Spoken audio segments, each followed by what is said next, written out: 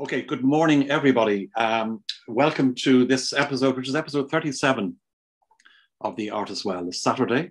It's actually Easter Saturday, so a very happy Easter to all of you, wherever you are. Um, now, before we, we, we, start with our guest interview this morning, um, I want to uh, give a special mention to a previous uh, speaker, a guest speaker, um, Colleen Blackard. Um, Colleen has got a, an exhibition, a solo exhibition starting this morning at 12 noon her time in Houston, Texas. And uh, we wish her uh, every, every success with that. I've actually got one picture to show you. This is one of her works, and she uses an archival pen to produce this. I mean, th- this is actually massive. It's six foot wide, would you believe, um, by about four foot deep. And um, it's entitled Fate and it's part of our Abandoned series uh, which she um, has a number of, uh, you know, along the same theme of this. But it's quite a powerful piece, I'm sure you'd agree. And you can see there almost, it's like almost as if there's a torso. Um, so anyway, if, if, anyone would like to see this, it was, it was uh, ranked as one of the top five um, solo exhibitions to see in Texas um, by a, a, a, reputable magazine um, over there, Arts Magazine. So um, if you can at all, try and get on to see her. And you'll find her in the uh, Red Bud Gallery, R-E-D-B-U-D gallery.com. And then forward slash uh, Colleen dash Blackard, B-L-A-C-K-A-R-D. And you'll see all her work. So um, anyway, that's that, that's for that. The other thing, you know, we do this um, drawn from the well, which is an opportunity for viewers to submit some work uh, that they've been working on recently. And we have two this week. And one is from uh, Margie, uh, Margie Dunn. And this one is a small uh, oil painting uh, entitled Essence of the Bog. And the second one is is by David Goldberg, a fellow member of uh, mine in the United Arts Club. And it's entitled Le Jardin Secret, or The Secret Garden and is an oil painting based in Marrakesh. Okay, so on to um, our guest this morning, and our guest this morning is Bernadette Kiely. Uh, Bernadette Kiely is known the length and breadth of the country, so I feel as if I almost don't have to introduce her. Um, so let's go straight over and we'll, we'll, we'll, find out all about her and go down to the beautiful uh, village of Thomastown in, in Kilkenny and say hi to Bernadette. Hi, Bernadette. Hi, Alan. Uh, thank you for asking me to contribute to your series. Not at all, a pleasure. And um, you're, you're down in Thomastown. And Thomastown, for those of you who are outside the country or who don't know it, um, it's a beautiful village uh, with medieval origins there in, in Kilkenny. Um, and it's alongside the Mount Juliet estate with uh, its championship golf course and Michelin starred restaurant and all that sort of thing but it's an absolutely beautiful place. And we know it from you know my previous career. I, I did some work in the Irish Open, um, and that was held in Mount Juliet uh, many many years ago. Right. But I got to know it then, and more recently because um, my wife Trina knows uh, a woman called Trisha Hennessy who owns. She's a an award-winning chef, and she owns with her husband Michael the, the Tower House, which is a beautiful B and B. And their walls, part of the, the, the actual construction of that uh, place goes back to um, the 12th century. So well, you're living in quite an ancient and historical place, Bernadette, aren't you? Yes, yes, it is. It is, and it's very it's it, it's visible all the time. You know, mm. so. And it, and it uses your theme quite a lot because the Nore, the River Nore, is running through it. Um, yes. You know, and, and and you pick up on that theme quite a bit. But you you weren't originally from there, were you? No, I grew up in Carrick on Suir, which mm. is a, um, a town between Waterford and Clonmel and uh, set on the river Suir. And again, a, a very ancient and historic, historic town, which is very visible from the Tudor Manor, the Ormond Castle, which was originally built in the 12th, 13th century and then added on to by Black Tom Butler. Mm-hmm. We're very aware of that growing up and yes. also the walls of the castle are still visible around mm-hmm. the river Suir you know? All right okay i wasn't aware of that. Yeah. Yeah, yeah. and so you, you grew you were born there were you? No i was born in clonmel all right. Um, and uh, literally on the river Suir there as well. Yes. Um, so there's there's a definite thread um, my father was in the ESB at the time, so he was transferred to Carrick, so they moved to Carrick on Suir. Okay. But um, and was he interested in art? He was, yes, yeah. Both my parents were interested mm-hmm. in art, yeah. And I, I remember them actually. I remember us all drawing around the kitchen table in in um, one of the houses that that we lived in. You know. Yeah. Yes. But the first the first house in Carrick uh, was at the end of Bridge Street, and it was literally beside the river Suir. Mm-hmm. So when we went out, th- there was the river, you know. Yeah. And it's the same here where I live now in Thomastown. Is when I go out the front door, the river is there. I can see the river from upstairs. And tell me, were, I mean, were you always interested in art? Was it something you did, you know, at school to the detriment of everything else, doodling away, or what? I it was I didn't do much else to be honest. okay. At, at, the time, I remember drawing at the kitchen table from when I was about four. Yes. And, I mean, there was no there was no fancy drawing pads or or beautiful paints or anything like that then. So my mother used to give me. Um, my mother was a great letter writer, a great writer. She used to give me her um, writing pad, pages from her writing pad, often with the lines on them and I the pencils we had in those days were like HBs, you know, those really hard pencils. I didn't like them. You couldn't yeah. see them. So yes. it was her biro, her blue biro. So I drew and drew and drew and drew and drew. and anything that was going on, mm. like any dramas or anything happening, I, I just drew people doing um, whatever they were doing. And before before you you sort of went to art college and all that, did, did you have in mind any other profession or career in mind, or or were you always no, this is art and that's it? Um, I I think I I always wanted to do art. I hmm. I, I knew I, I, yeah I knew I was going to go to I wanted to go to art school. I hmm. wanted to, to do art but of course, um, you know, as a teenager, you do entertain other, other thoughts at times, like, mm. "Oh, I mm. love traveling. I want to be an air hostess," and then you go, "No," you know. so um, yes, it was always art, and um, uh, but I do remember my mother's friends actually in the kitchen saying at one point, "You can't let her do art. She'll never make any money." Yes. So my, my mother said to me then at one point, um, "Well, do you want to do painting?" And I said, no, I, I don't think so. I think it's too hard. I, I don't think I'd be able to paint. It's very difficult. Hmm. Um, I remember trying to get a grape to look like a grape, and I was like, "How do you do this?" You know? yes, yes. Um, and nobody showed me. But um, so but, I mean, paint, painting was in fact something you, you painting you got into fairly fairly later on in, in, in your career, wasn't it? Because you were more into the graphic end. Well, that's it, you see. And they, they said um, things like, well, maybe you should do commercial art. Mm. At the time, it was called commercial art. So yeah. I went to art school anyway. Mm-hmm. Um, whereabouts? Well, I went to Waterford and yeah. I, I, had actually applied to NCAD and to Limerick and Waterford. I was lucky to get into them all, but I couldn't afford it. And at the time, I couldn't get a grant.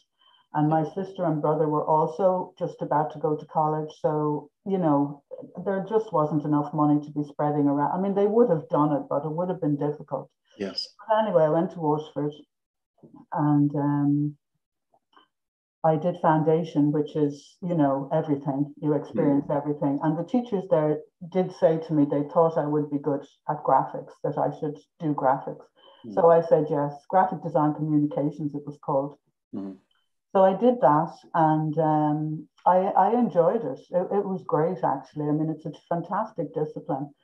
And there's a lot of drawing, which I loved drawing. And then the painting is just gouache and flat, flat color, you know. Sure.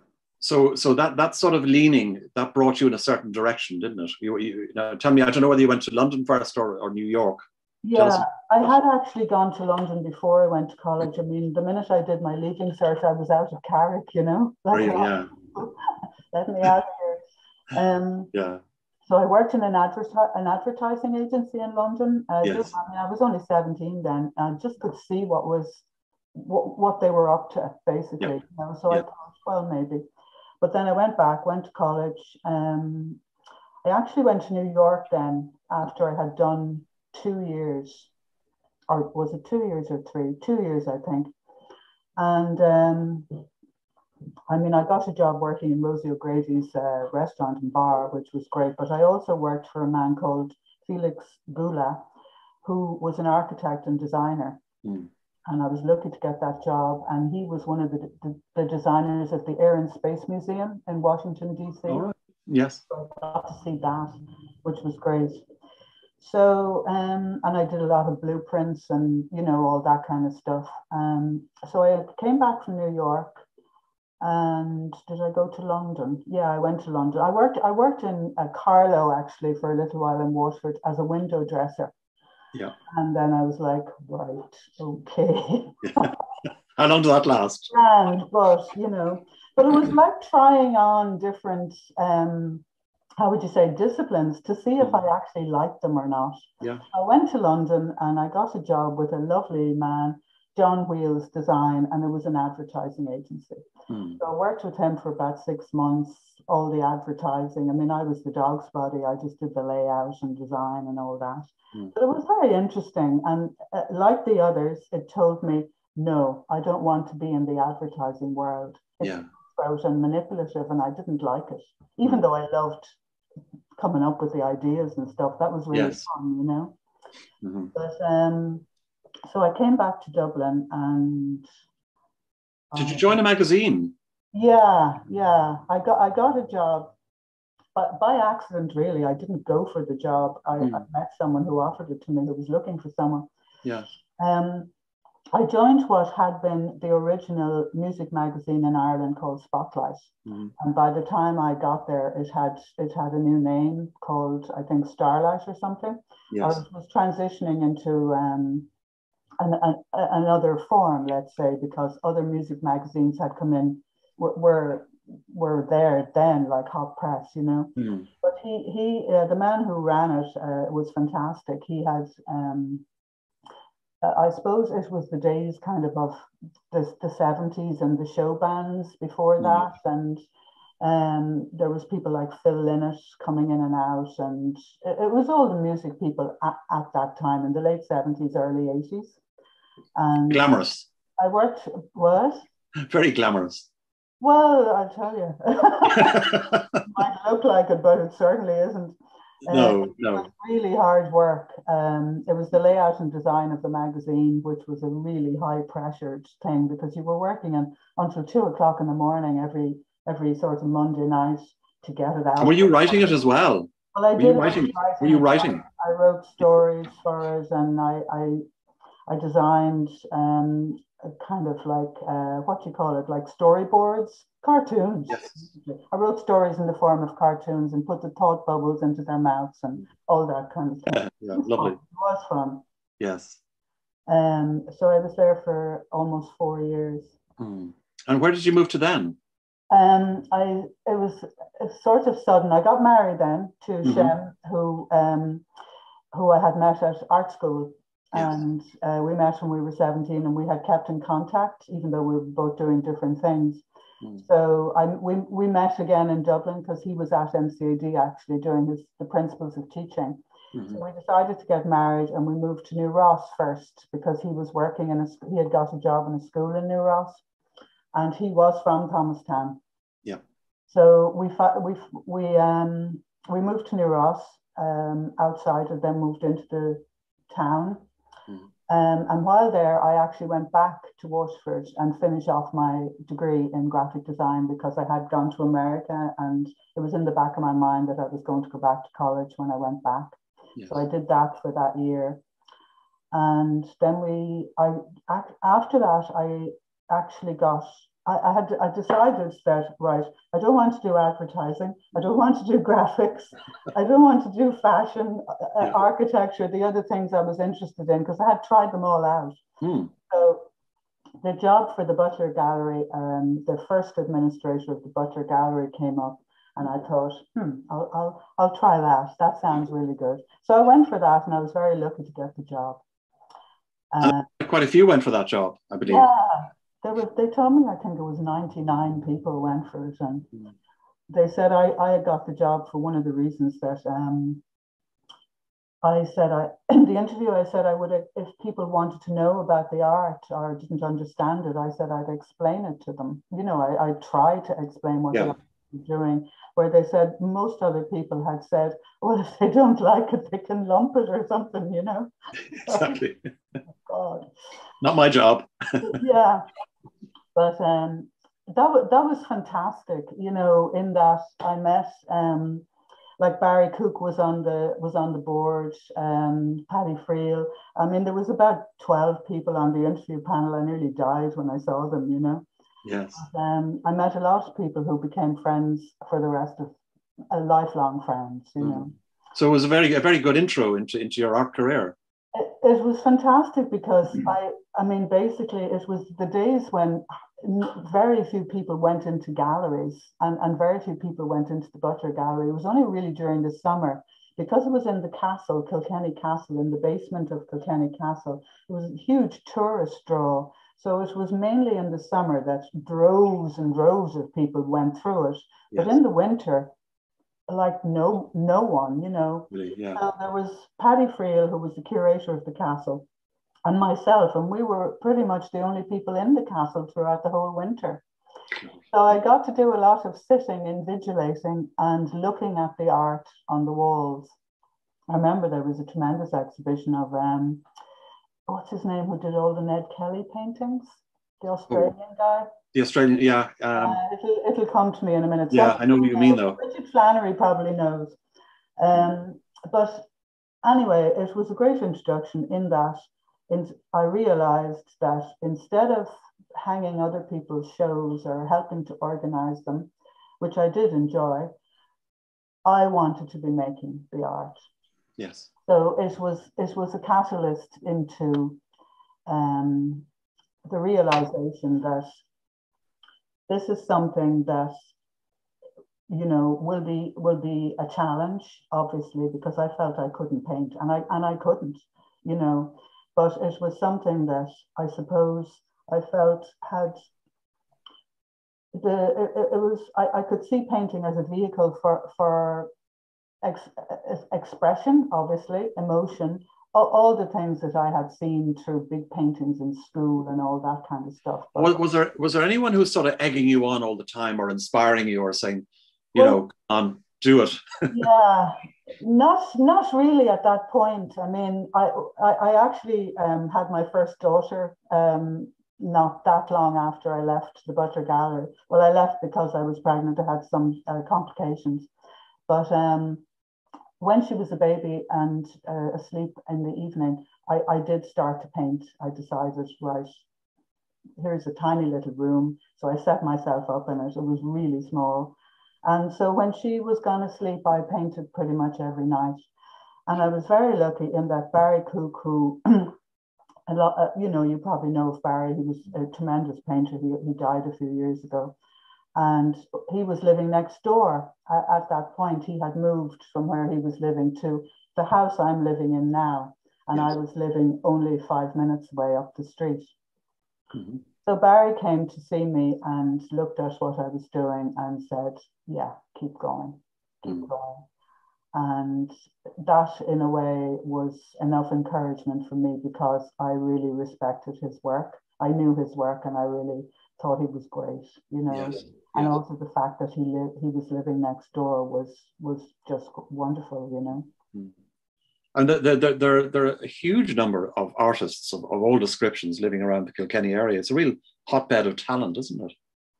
It, it, it is, I suppose. Yeah, we, we tend to forget when when you're here every day, you don't yeah. see anyone. You know. Yes. And, yes. Uh, especially now, but um, there is. Yeah, I mean, Paul Mosse is a great, tremendous artist. Lives in Inistioge. His wife mm. Marianne is a great artist. Um, Hughie O'Donoghue was lived here for was it 11 years or, or more. So we saw a lot of Hughie and. And I believe Seamus Heaney was was a, a, a, regular visitor down there. He was, yeah. Seamus was one of Barry Barry Cooke's best friends, mm. as was Ted Hughes, the English poet laureate as well. So they yes. visited Barry very regularly, and um, they really enjoyed fishing. I mean, fishing was their thing, you know. Yeah. So um, Seamus often would would come down, and I remember going to the local pub, and mm. Seamus basically just told jokes for the whole evening. I mean, one one worse than the other. I have to. really, yeah, yeah, wonderful. Yeah, it was great. great. Yeah, and listen, before we we, we get on to because we're going to have a, look at your studio, but before we do that, do you want to talk about sort of um, various things that you've been involved in, uh, in in terms of organizing or creating um, in in the local area? Oh, okay, right. Um, well, I, I, I, I was very lucky to join the Kilkenny Arts Festival um, board. I won't call it board, it was a visual arts committee. Yeah. I, I forget, I was trying to think of the year and I can't really remember, but it would have been in the 90s. Mm, mm. The 90s, yeah. Okay. And um, Hughie O'Donoghue and Claire were living here at the time, so Claire got involved as well. And uh, I mean, because of Claire's contacts and everything in, in, in England and the UK and here we, we got to put on um, amazing exhibitions, you know.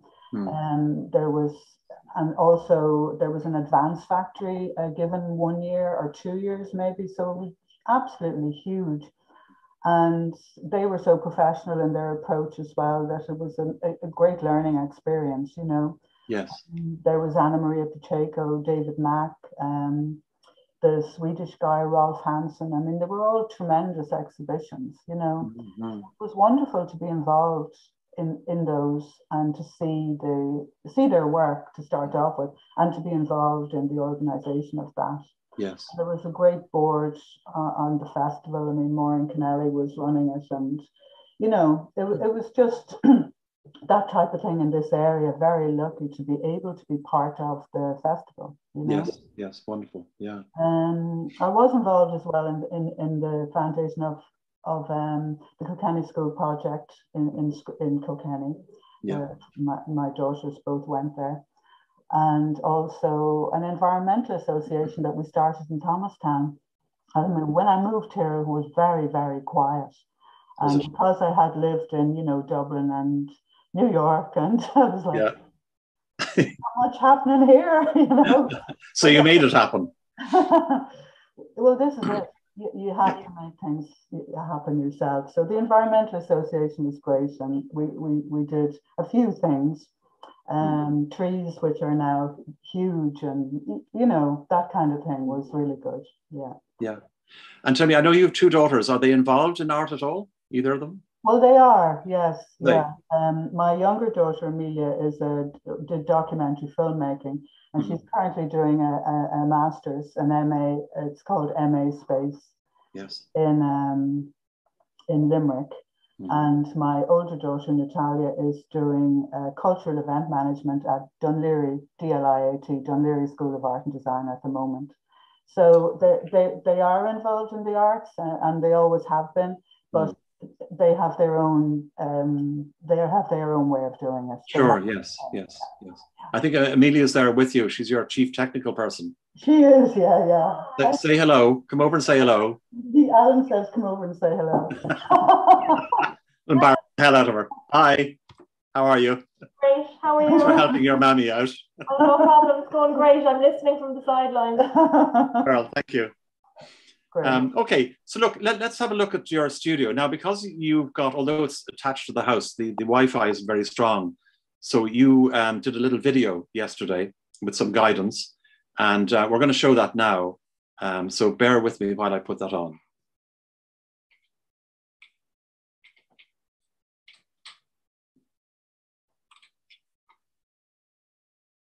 So this is the studio. It was built in a Handball Alley by my predecessor, the artist Barry Cooke. So it's actually the size of a handball alley. I've put in a couple of dividing walls into it um, just for heating purposes, really, and also to give myself a gallery space at the front of it. Um, so I'll just go through a few, a few things here and um, we'll just start over here. I was very lucky to get these um, former hospital beds uh, that were being thrown out of the local hospital. And I have two of them, and they're absolutely brilliant. You can rise them up and lower them if you want to. And um, these are just some folders um, that I keep um, photographs in and um, kind of source material um, when I need um, some inspiration. And these are just some books I have stacked up here. Um, I love books and I'm addicted to buying even more art books um, than I have already, which is quite a lot. And these are just some notebooks. I have a lot of other notebooks as well over here in this uh, plan chest, if you could actually see it. There's, it's full of uh, notebooks, folders of drawings, um, that kind of thing.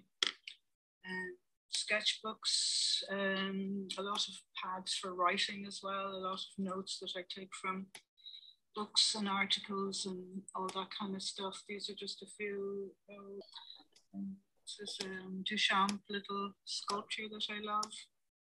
Um, that's an artist I really like as well, William Kentridge, amazing drawings, an amazing artist.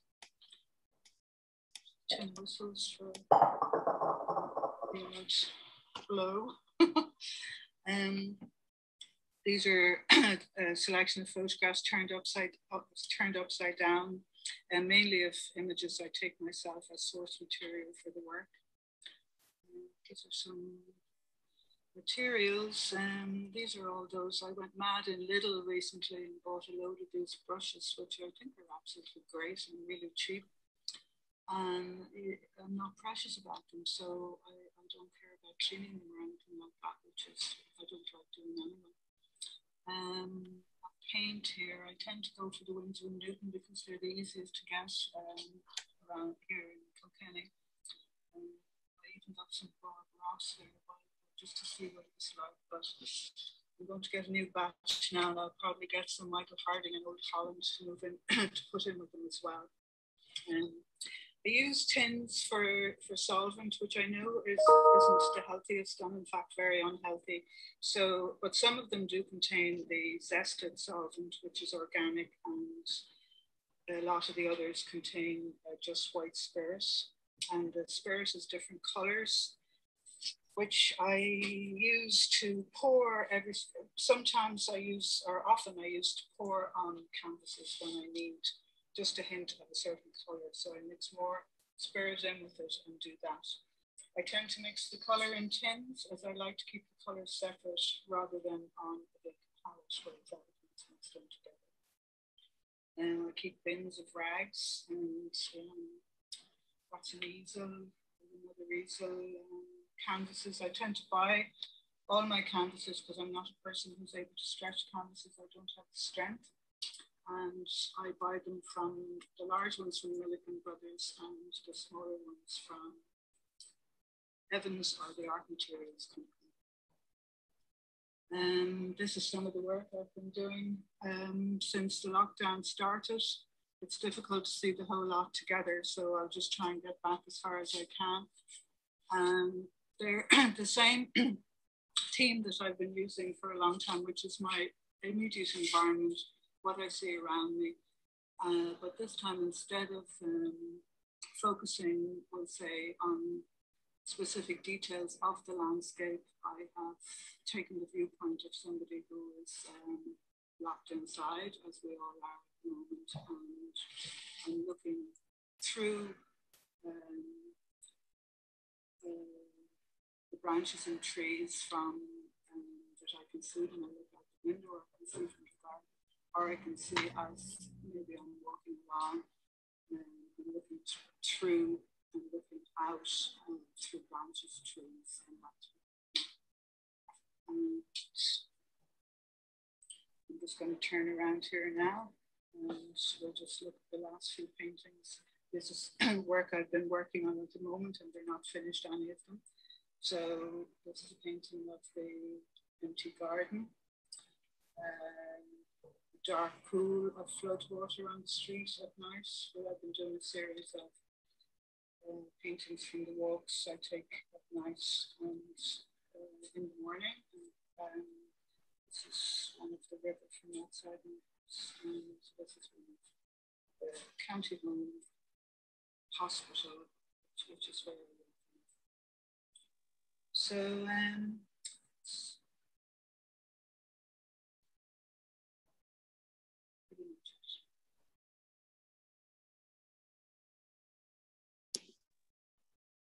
that was great.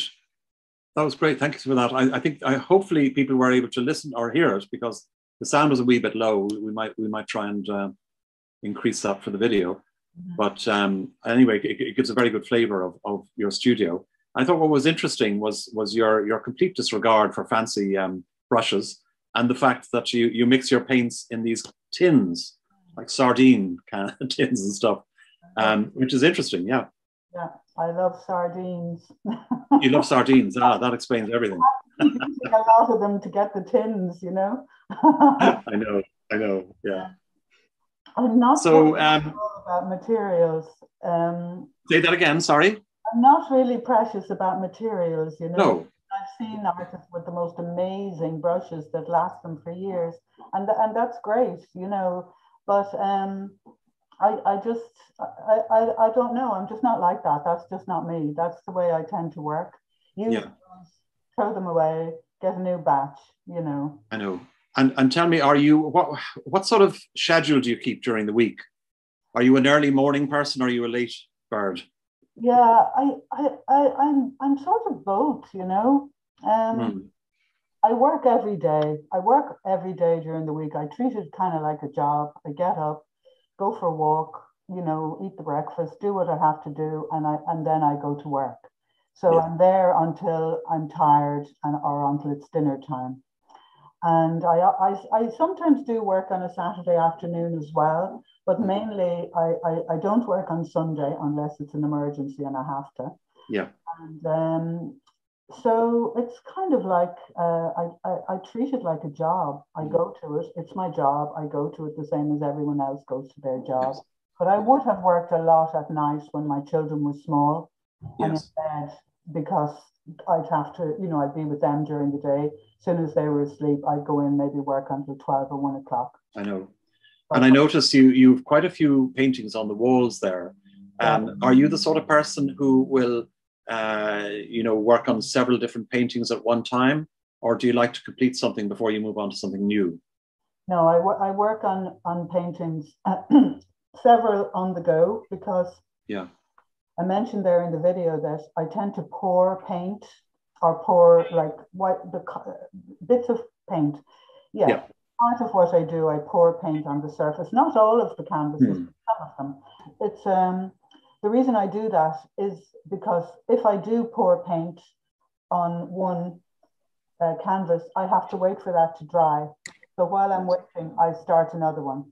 And, and I suppose if I, if I do something on, say, this, I work a bit on this canvas, I wait a little bit to see what I need to do next. Mm. So I might start the other one. So in a way, it gives me more of a sense of what I'm actually doing if I have four or five or yeah, as many. If you, it, it, it, it wouldn't be more than four, but when I'm working on the bigger paintings, it wouldn't be more than two really, you yes. know, unless yeah. I was doing a triptych or something like that.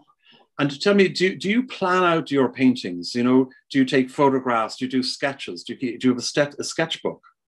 What's your sort of process in the lead up to starting yeah. a painting? It's mainly photography, Alan you know, my, my third arm is, is a camera, really. Yeah. I, am always, I always have my phone now. I'm kind of alert to imagery wh- wherever I go, you know. Mm. I do a lot of drawing, uh, all right, but they're not like preparatory sketches for anything else. They're more me gathering information, you know, just for myself. Yeah. And I've made um, some very large drawings, which I think you might see one or two of them in the slideshow. Yeah.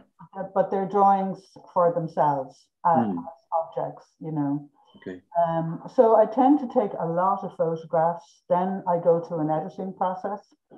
Um, I edit them out, then I edit again, then I edit again, and then I select a number. Yes. follow a theme that I'm I'm on or I want to explore. Okay. And so I print off the photographs uh, from the computer mm-hmm. and I have them then in the studio. And you saw them all turned upside down because I'm That's right. Yeah. Hidden. okay. All right. Well, look. Let's let's let's go straight on to to um, the, the presentation. Now, you picked out a number of of works, and I think that that that will sort of help viewers see the progression of your career and okay. you know all sorts of different stories that that have happened during that. Yeah. So um, I'll I'll share the screen now. I'll I'll try and be briefish. Yeah. And I think we're starting here in around it, it's it's it's the 90s anyway and so it, you know in order to keep um, a certain amount of images i decided to start here so the, these in a way uh, the paintings that you see fall into the bracket i suppose at the time of kind of elemental and an effort on my part to capture smoke and fire which um, it was really difficult to do you know so um, I, I, made a series of small fires burning in the landscape. Um, before, just before we had heard that there was an EU directive coming in to stop burning in the landscape. So it, it was an effort on my part to sort of, in a way, capture something that I knew was going to disappear. Yes. So um, that also feeds into the um, subject matter, which is fire and smoke, which of course is going to disappear. So I suppose I'd have to say all of my work is related to ephemeral subject matter, which you can only grasp a, a moment in time of. It's not solid. It's it's it tends to be well air really. I mean, you know, just to, to use that metaphor. So anyway, this is um, an oil, oil painting, uh, reasonably small, I think 36 by 46, which is the size I tend to use. Mm-hmm. And um, it's from one of the series called Fire, Two Dots is to Burn, which is like a phrase from Latin, you know, where we where we learned fire and the the other thing is like is to burn, that's what it means, you know. Yes. Okay, so move on. on. to the next one, Alan, please. Mm-hmm. Um, this is from a, a, series of paintings I made as a result to going to uh, the Ballinglen Arts Foundation, which is the most wonderful place in North Mayo. And I, I had been invited a couple of times, and I just thought, gosh, I, I don't really have a much of a connection with up there. But then I remembered that we had been to visit the Céide Fields previous to that with my husband and children. And it was the most magnificent place on the on the edge of uh, the North Mayo coast with the visible remains of 5,000 years were standing on this, you know, boggy earth. And I, I just remember feeling kind of, my God, this is such a profound connection to our heritage and our country, you know, like it was mind blowing. So I went up there, and it was probably the best thing I've ever done. Um, so this is just one. I did a lot of um, bog cotton growing out of the bog, and also um, gorse, which which was bloomed everywhere the first time I was there. And um, I suppose the reason I, I decided to make the gorse paintings was I really had no affiliation with with yellow the color yellow, I, I sort of found it a little bit harsh and, and garish, and I really actually didn't like it, and I hadn't been using it. So it was so yellow. I thought I, I I'll give it a go and see if I can if I can make something of it.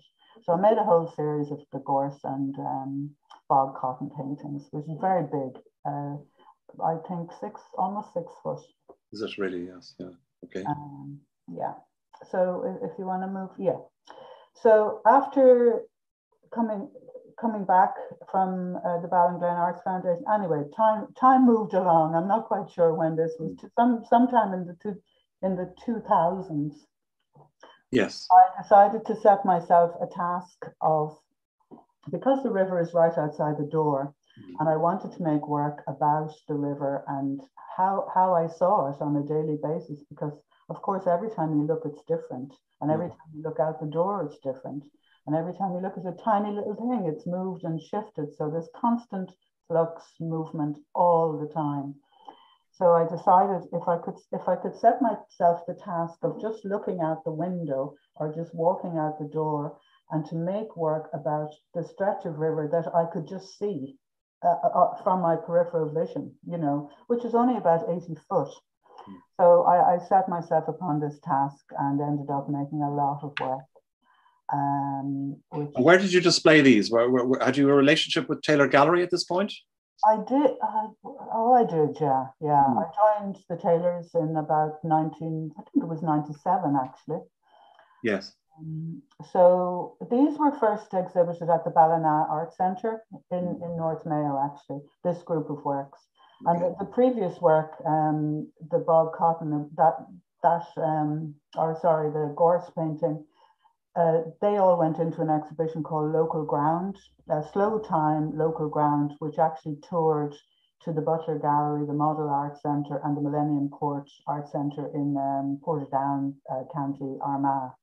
So this went to the Ballina Art Centre, and I think maybe subsequently to Taylor Galleries as well. Mm. I'd have to look up the um, the biography or the the CV to see exactly where they all fit into each other. Okay. So yeah. Matter of interest, do you do you frame your paintings? I don't, Alan. No. No. Okay. I frame, uh, get drawings framed, small drawings. Framed. Yes. I don't get the big drawings framed, but people do frame the paintings. Themselves. Would you rather leave that up to the person who buys it? Yeah, and I have seen uh, paintings of mine framed, and and they do look well in in a very simple frame, you know. Yeah, yeah. Okay. Um, this is a larger painting. It's um, a size I tend to use quite a lot, which is uh, 103 by 148, well, 100 by 150 almost. Hmm. Yeah. And um, uh, one of the kind of early uh, paintings, I'll call them flood paintings, that I started to do. Because it, it, even though the river outside had flooded a couple of times uh, coming up to that, it, it, it became more prevalent as time went on and the, and the flooding happened almost, it was beginning to happen almost every year, and sometimes even twice a year. And then, of course, um, it became very obvious that climate change had started to become discussed big time in, in, in the, um, in the media. And it became more and more apparent that this was obviously happening, and actually, we could see it outside our front door, you know. Yes. So um, it led on to a series a, a lot about flooding. Yeah. Uh, these these are um, again from the river, so it was like a kind of an all-encompassing um, project to make work about water, I suppose, the effects of water, what forms water takes, because I mean these are drawings related to fog, mist, snow, and all those are just water in, in, in their other forms, water vapor in their other forms. So I like that idea, how water was changing what I was looking at and yes. how, how, it did it amazingly. And um, the canvases are five foot by seven. Um, and I, I would have ordered a lot of them from um, Milliken Brothers in, in uh, Grey Abbey outside Belfast. Do you ever use acrylics or are you using oils all the time? Oh, no, they're made with charcoal. Oh, sorry, these, yes, sorry. Okay. Drawings with, with charcoal and chalk. And it's it's ordinary school chalk, but it's you can get it in big plastic containers, like they're huge, big, thick sticks. The same way as you can get the big, thick charcoal sticks. Yes, yes. A box of them, which is going to last me for my life and the and the chalk as well. So and wh- when you when you've done that using charcoal, how, how do you protect the canvas? Because charcoal obviously is something that rubs off relatively easily. It is, yeah. Do, do, do you do you glaze them or something? Well, I spray spray them with. Spray them. Yeah. So I mean, they would take about four or five tins each one. Yeah. Yeah. No, it is it's a bit of a process and I, I would spray as well as I drew as I drew at a certain point where you think, well, I want to fix that so I can work over it. Yes. So spray it, then again, and then as many times as if you touch it, it's not going to come up come away in your hand. You know what I, I mean? Know. I know. Do you ever use water over charcoal? I do, yeah. That could fix it too. It does, yeah. Well, well, I, I would have tended to pour water or spray it actually. You know, those little spray yeah. for plants. Plants, yes. Yeah. yeah. Spray water, it dislodges the charcoal and chalk and just gives it that little kind of edge as if things are shifting, which of course they are. Yes. In a way, um, I suppose a good bit of what I would do would be to try and technically achieve something that I felt I wanted to, and mm. and then try and figure out well how how am I going to do that? You know. Yeah. Okay. And this is uh, again part of that series, which is this very. It was a very small tree, but mm. so kind of shrouded in. I I really didn't know. Is that snow? Is it ice? Is it fog? Yeah what is it? But it was just so kind of stark and magnificent, even though it was small.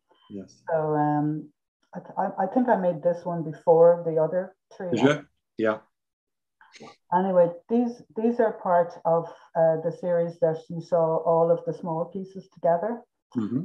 And uh, lar- larger larger paintings again, as you can see, of the river in, at, at different times. Um, early morning in the middle, sometime during the day, very bright sunlight, and at night.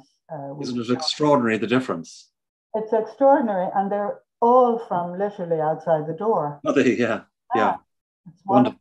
what I can see, you know. Wonderful. Um, I recognize this woman. um, during the last big flood, uh, which was uh, 2016, I think, on New, Year's Day or New Year's Eve or around that time anyway. And because the whole country was flooded, um, Minister Joan Burton uh, was arrived um, in Thomastown. And unfortunately, herself and um, Anne Phelan, I think the Labour Party um, uh, minister from uh, Graiguenamanagh, were being towed around in this boat and they fell out right outside the front door. and poor Joan and poor Anne. Now, fair, you know, fair play to them. They you, ran out with your camera, did you? And said, well, do, that again. Do that again. Um, I didn't run out of my camera. Uh, yeah. I, I used imagery that other other people had taken, and but it happened outside the front door, so I thought I have to document this. Yeah. You know? Does she know about it? I don't know if she knows about it. Somebody bought it, which I'm very surprised that somebody would buy it. But um, I, I don't know if she knows about it. But yeah. you know, maybe eventually I'll send her a copy of it. Send her a copy of this. yeah, exactly. Okay. Yeah. So um, these were part part of uh, the flooding series as well, and um, I happened to be on the train from Dublin to Galway with my daughter, Amelia. We were going down to her graduation, actually, ceremony. Mm. And this was before kind of any big flooding, but as we went along, the whole Shannon River, uh, you know, was really flooded. Yes. It was before the floods. So uh, we realized, I realized myself how much uh, the Shannon actually floods before there's even any mention of a flood. Mm. And of course, I know that flooding as well is also good for irrigation and all that. But, but I mean, this it was not. So anyway, I took a, an awful lot of photographs the whole way down, and I made this this this kind of. I mean, they're individual pieces, but I just have them together here. Yeah. Uh, of flooding on the Shannon.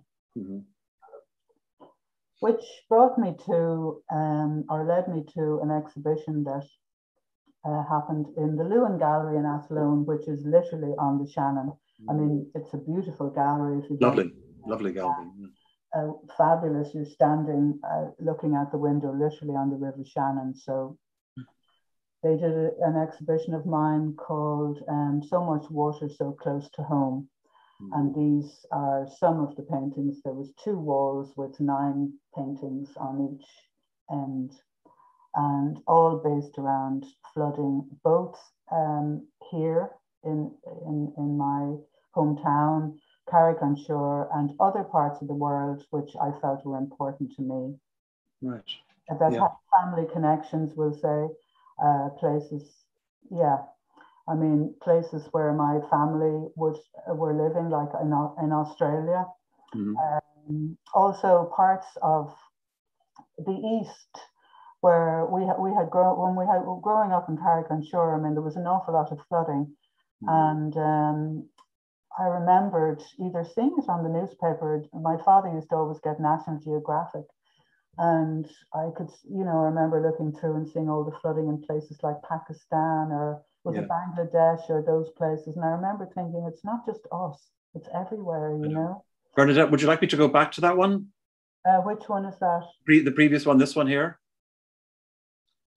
No, no. No. Okay. All right. Okay. The painting that you're on is, is the one. I, yeah, the one I'm talking about. So. Okay. Um, so yes, I wanted to make work about flooding that um, was was worldwide.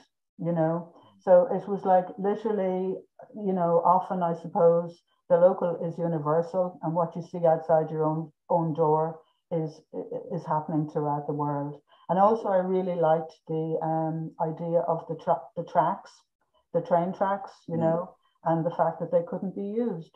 So, I mean, transport uh, came to an end because of climate climate change, you know. Mm. So um, this is this is a painting based on the river in Carrick-on-Suir, where I grew up, and um, my my mother had died and my father had died previously, so I I, I was going down to visit the grave every week pretty much and, and then going for a walk up the bank of the river there, which is beautiful. And one day I saw this very small little boat kind of tucked in, you know, in, at the side of the river there. And um, the fact that it had the yellow lines and the shape of it, and you could see the reflection. It just was a very small little boat, and it was almost like it kind of squeezed in under a bush, just uh, as to create a little safe harbor for itself. And it just struck me because I had been so, I suppose, upset and grief stricken that my mother had died uh, so suddenly. Uh, I, I, I, I, was thinking about uh, Carrick-on-Suir and how it had always been a safe harbour for, for, for my family and I to go because my parents were all, always there. But now they weren't, you know. So I, I saw it as um, a place where there was no longer a safe harbour, you know. So I, I called the painting, uh, I, I wanted to make the painting about it, and I saw the boat as kind of metaphorical again. Yeah. And it was like, no safe harbor. You know, it was a realization there's no safe harbor.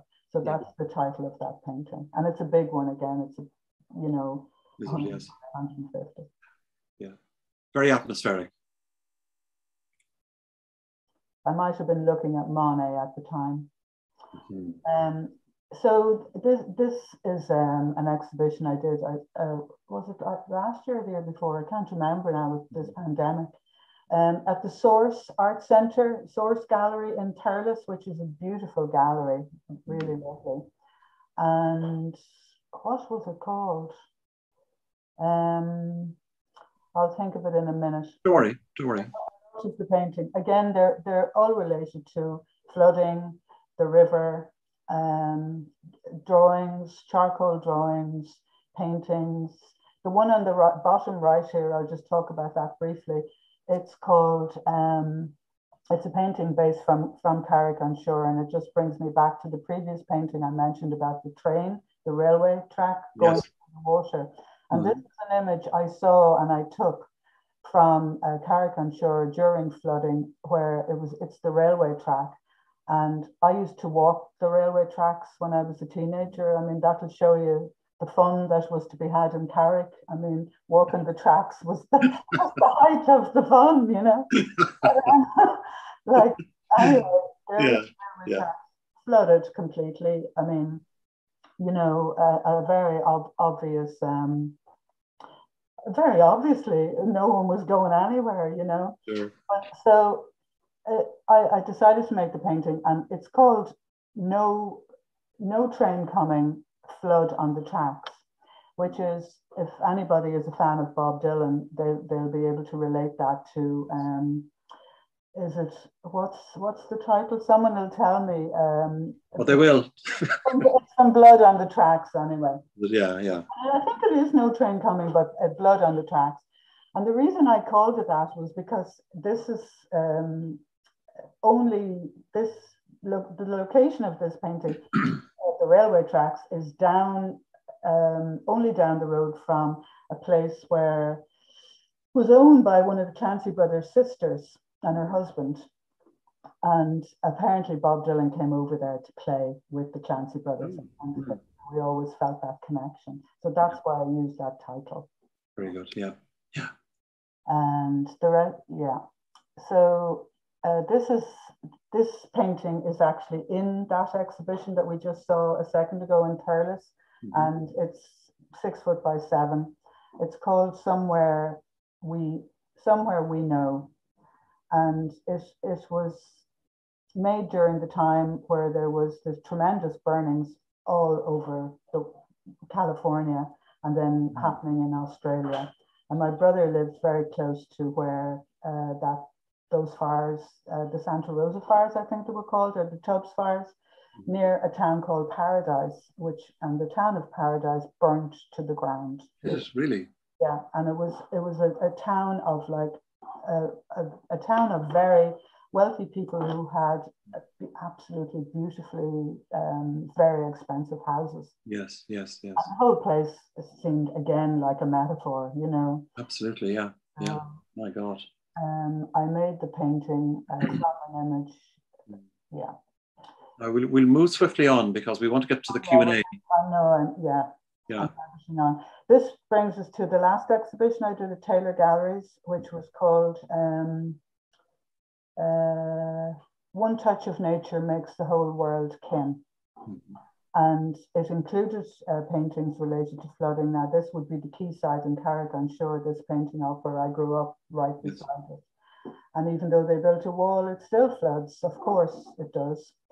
Um, so this was just a little piece that Aidan Dunne had uh, written in the Irish Times, and it, he related it to the pandemic because obviously isolation became a big thing during, mm-hmm. and has become a big thing during the pandemic. And these are uh, paintings and um, were shown in the Taylor Galleries as part of that exhibition, which was flooding, burnings, um, and the isolation of, I suppose, just looking through, looking out from from within. Yeah. Yeah.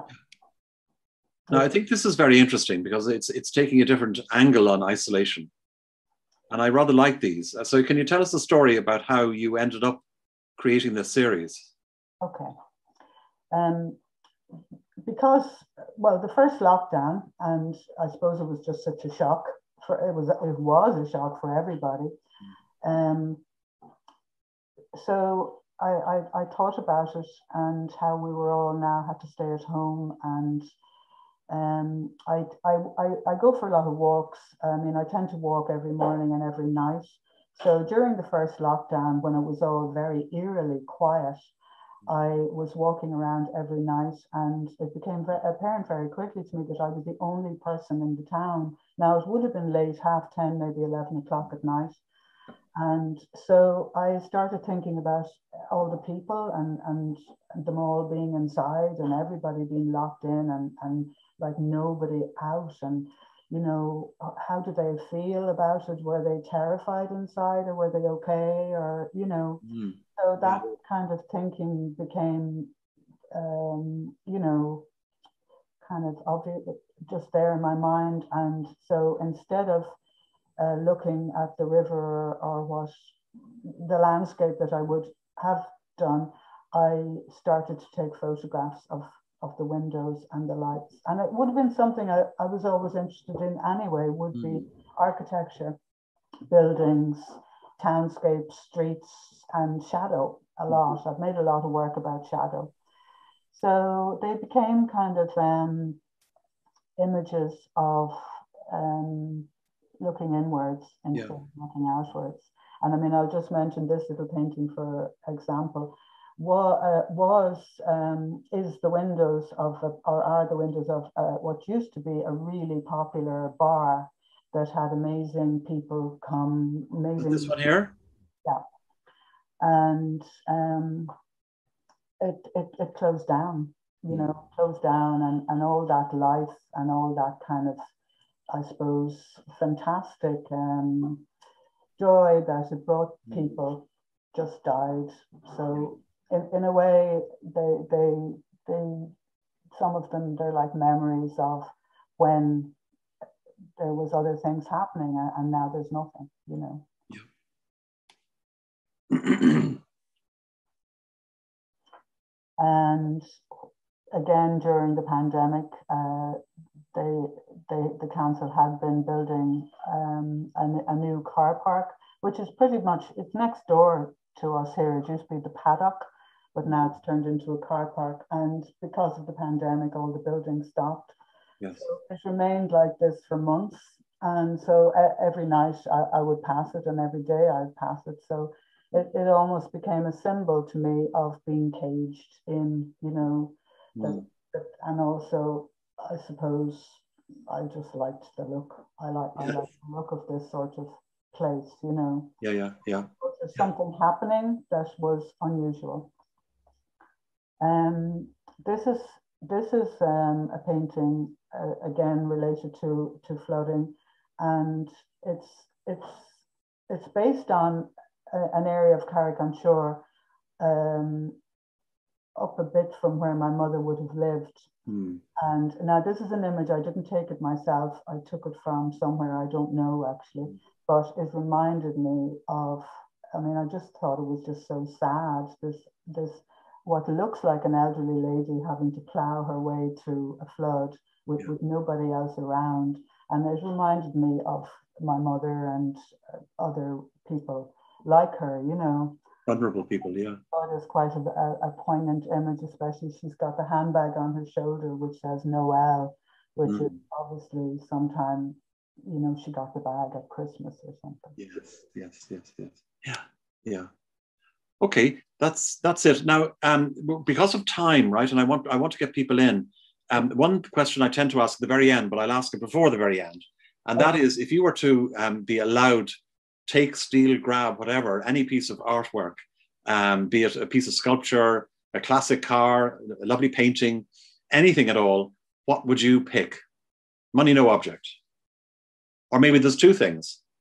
I chose two paintings, and they're both related to houses and home, which I think are very pertinent. Uh, obviously, home has become so, such ma- so massively important to us all over the past year, and we've all been locked inside. And the first painting here is from, or is by a, a guy called George Shaw, who's a UK artist, um, young enough, I'd say he's not even 50 yet. Yeah. And he, I absolutely love his work. And this painting is called Ash Wednesday, you know, which is the time of year that we're in. Hmm. That's another reason.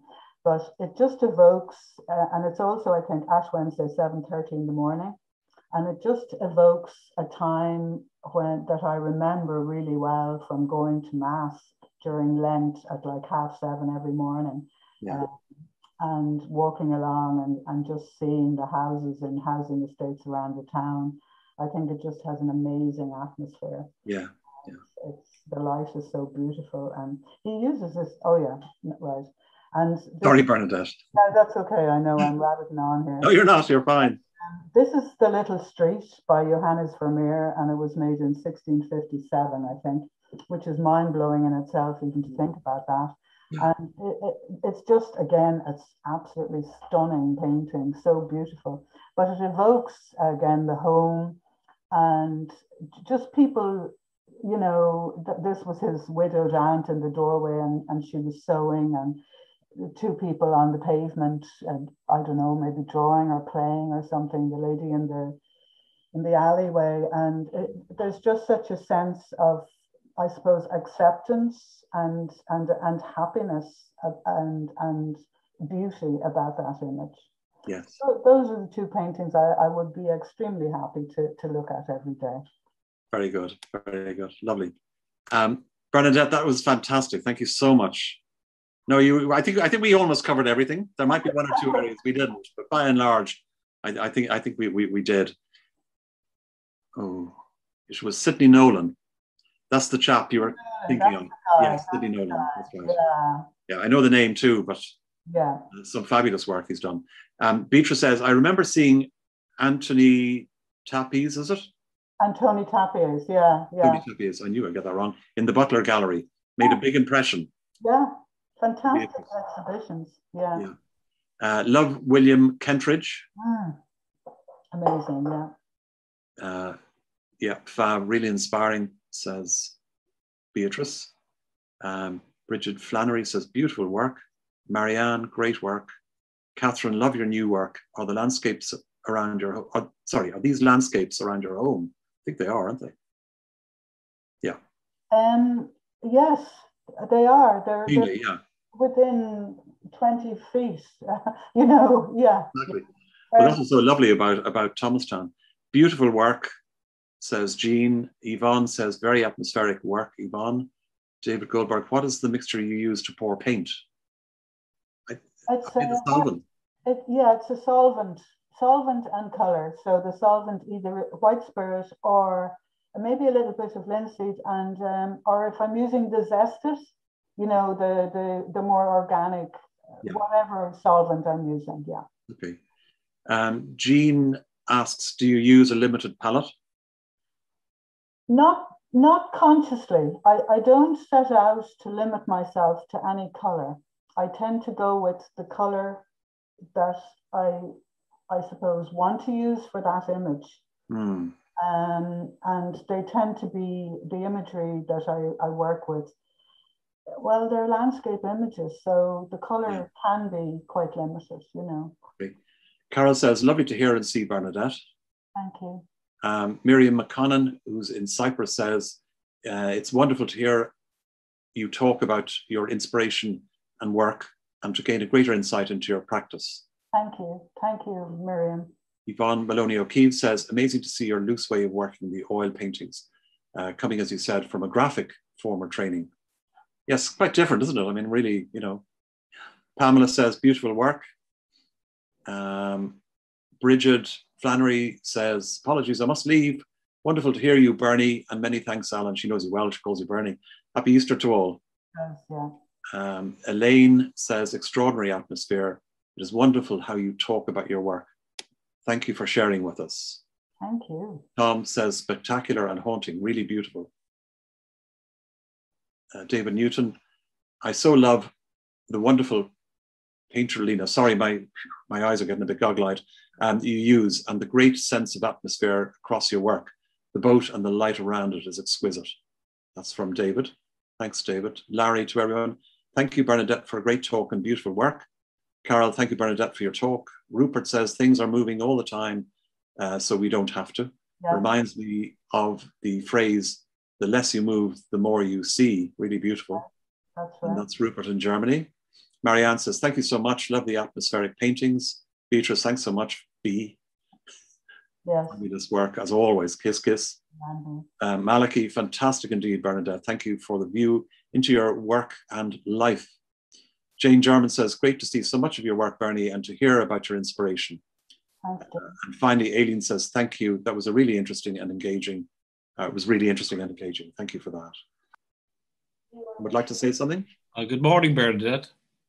Who's that? Derek Cully from Liverpool. Yeah. Hi, um, you.